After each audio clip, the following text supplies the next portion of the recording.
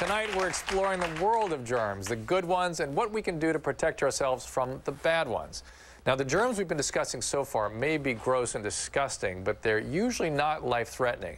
However, there are plenty of bugs out there that are.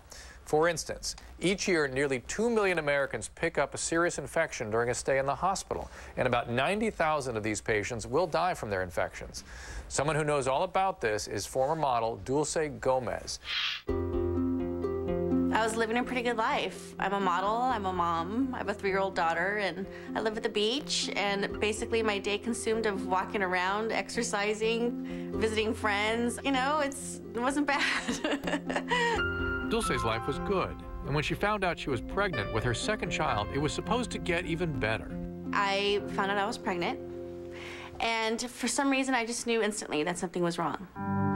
So I went to go see the doctor, and they gave me a regular checkup and they found cancer. And I just never imagined something like that would happen to me. Dulce was diagnosed with a rare form of genital cancer. After receiving the devastating news, Dulce had a tough decision to make. I already had a daughter, Isabella, and she's three. So the doctor suggested that I terminate the pregnancy because my first priority should be being here for my daughter that I already have.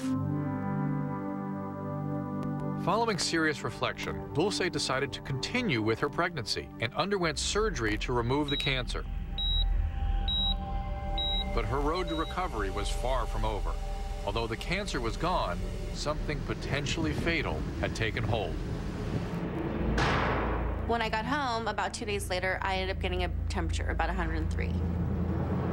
Dulce's surgical wounds had left her susceptible to infection, what she'd contracted was a dangerous antibiotic-resistant germ, or so-called superbug.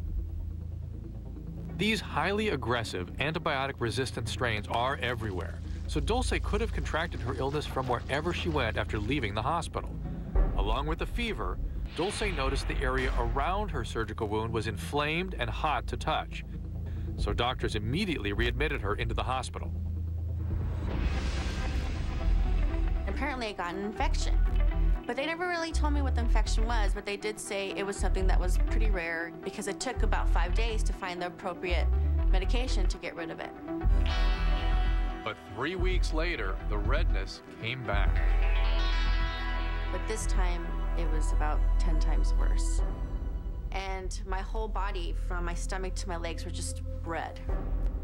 So when I finally arrived to the hospital, the docs looked at my legs and my stomach it was just like a movie. Everyone's rushing in, and then this doctor is telling the father of my children that this is serious, that she probably won't live. And I was, I was screaming, and I was just praying. The attack on her body was so aggressive that the doctors needed to take dramatic measures to save her life. They had to put slashes in my legs to take the bacteria out. It was just awful. And after the operation, they sent me into isolation. You know, the isolation that you see in movies where people have to come in with masks and like you couldn't be touched because I was so infectious. And I was pregnant at the same time. After surgery, Dulce received a combination of broad-spectrum antibiotics to kill any residual infection and spent the final weeks of her pregnancy in bed with home nurse care. You just never, never imagine that something like this could be your outcome after a surgery. The former bikini model was left emotionally and physically scarred from her ordeal.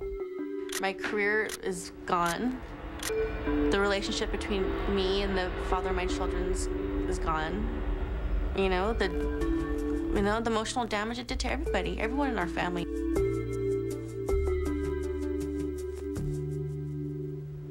Even though Dulce almost lost everything, she still has something to hold on to. Well, after all that, I, by the grace of God and a lot of praying, I ended up giving birth to an eight and a half pound healthy baby boy. It's funny when you see my son, you know that something happened. We fought through the worst fight together, and we got through it.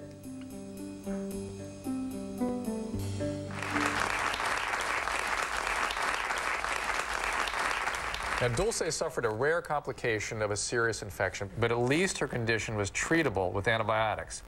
Imagine if every time you got an infection, you were completely helpless. No medication could treat the infection,